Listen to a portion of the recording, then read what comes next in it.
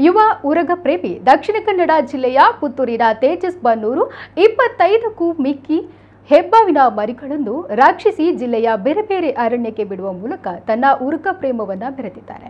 ಕಳೆದ ಐದಾರು ವರ್ಷಗಳಿಂದ ಸಂಕಷ್ಟದಲ್ಲಿರುವ ಉರಗ ಸಂತಾನವನ್ನು ರಕ್ಷಿಸಿ ಅವುಗಳನ್ನು ಮತ್ತೆ ಪ್ರಕೃತಿಗೆ ನೀಡುವ ಕಾರ್ಯವನ್ನು ನಡೆಸುತ್ತಿದ್ದಾರೆ. ಈವರೆಗೆ ಸುಮಾರು ನೂರಕ್ಕೂ ಮಿಕ್ಕಿದ ಹೆಬ್ಬಾವಿನ ಮರಿಗಳನ್ನ ಕಾಡಿಗೆ ಬಿಟ್ಟು ಹೆಬ್ಬಾವುಗಳ ಸಂತತಿಯನ್ನ ರಕ್ಷಿಸಿದ್ದಾರೆ. ಹೆಚ್ಚಾಗಿ ಮರದ ಪೊಟರಿಯೊಳಗೆ ಬಿದ್ದ ತೆಂಕಿನ ಮರದ ಟೊಳ್ಳಾದ ಭಾಗದಲ್ಲಿ ಹೆಬ್ಬಾವುಗಳು ಮೊಟ್ಟೆಗಳನ್ನ ಇಡುತ್ತವೆ. ಸುಮಾರು ಅರವತ್ತು ದಿನಗಳ ಕಾಲ ಹೆಬ್ಬಾವುಗಳು ಮರಿಗಳಿಗೆ ಕಾವನ್ನ ನೀಡುತ್ತದೆ. ಹಾವುಗಳಲ್ಲಿ ಹೆಬ್ಬಾವು ಮತ್ತು ಕಾಳಿಂಗ ಸರ್ಪ ಮಾತ್ರ ತಮ್ಮ ಮೊಟ್ಟೆಗಳಿಗೆ ಕಾವು ನೀಡುವ ಮೂಲಕ ಮರಿಗಳನ್ನ ಹೊರತರುತ್ತದೆ. ಮಾನವ ಅಥವಾ ಇತರ ಪ್ರಾಣಿಗಳ ತೊಂದರೆಯಾದಾಗ ಮಾತ್ರ ಹೆಬ್ಬಾವು ಮತ್ತು ಕಾಳಿಂಗ ಸರ್ಪ ತಮ್ಮ ಮೊಟ್ಟೆಗಳನ್ನು ಬಿಟ್ಟು ಬೇರೆಡೆ ಸಾಗುತ್ತದೆ. ಹೀಗೆ ಸಾಗಿದ ಸಂದರ್ಭದಲ್ಲಿ ಮೊಟ್ಟೆಗಳು ಕಾವಿಲ್ಲದೆ ಹಾಳಾಗುವ ಸಾಧ್ಯತೆಗಳು ಹೆಚ್ಚಾಗಿರುತ್ತದೆ.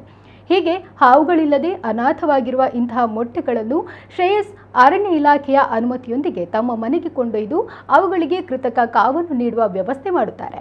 ಇದೇ ರೀತಿ ಈ ಬಾರಿ ಬಂಟ್ವಾಳ ತಾಲೂಕಿನ ಅನಂತಾಡಿಯಲ್ಲಿ ಸಂಗ್ರಹಿಸಿದ ಹನ್ನೆರಡು ಮತ್ತು ಕಲ್ಯಾಣದಲ್ಲಿ ಸಂಗ್ರಹಿಸಿ ಹದಿಮೂರು ಮೊಟ್ಟೆಗಳಿಗೆ ಕೃತಕ ಕಾವು ನೀಡಿ ಮರಿ ಮಾಡುವ ಮೂಲಕ ಜಿಲ್ಲೆಯ ವಿವಿಧ ಕಾಡುಗಳಿಗೆ ಬಿಟ್ಟಿದ್ದಾರೆ.